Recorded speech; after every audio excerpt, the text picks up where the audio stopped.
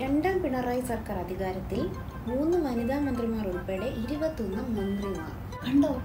എല്ലായിടത്തും സ്ത്രീകളുടെ പ്രാതിനിധ്യം കൂടി വരുന്നു ഇനി ഈ രാജ്യം തന്നെ സ്ത്രീകൾ ഭരിക്കും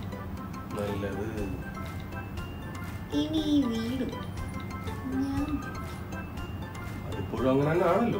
ഇനി ഞാൻ പറയുന്നത് ഇവിടെ നടക്കും. എന്തൊക്കെയാണാവോ ഭരണപരിഷ്കാരങ്ങൾ? ആദ്യം തന്നെ നിങ്ങളുടെ ഇരുപത്തിനാല് മണിക്കൂറുള്ള പെണ്ണുങ്ങളുള്ള ഈ ചാറ്റിംഗ് ഉണ്ടല്ലോ അത് ഞാൻ നിർത്തും. നിങ്ങൾക്ക് ഒരുപാട് ആൺസുഹൃത്തുക്കളുണ്ടല്ലോ. അവരാണെന്ന് ഇങ്ങനെ ചാറ്റ് ചെയ്യുന്നത് ഞാൻ കാണുന്നില്ലല്ലോ. ഓഹോ സ്ത്രീ ശാക്തീകരണത്തെയും സ്ത്രീ പ്രാതിനിധ്യത്തെയും ശക്തമായി അനുകൂലിക്കുന്ന ഒരാളെന്ന നിലയ്ക്ക് എന്റെ ആൺ സുഹൃത്തുക്കളെക്കാൾ പ്രാധാന്യം നൽകി പെൺ സുഹൃത്തുക്കളോട് മാത്രം ചാറ്റ് ചെയ്യുന്ന ഒരു തെറ്റാണോ? പറയൂ തെറ്റാണോ ആ അവരങ്ങനെ അങ്ങനെ പറ.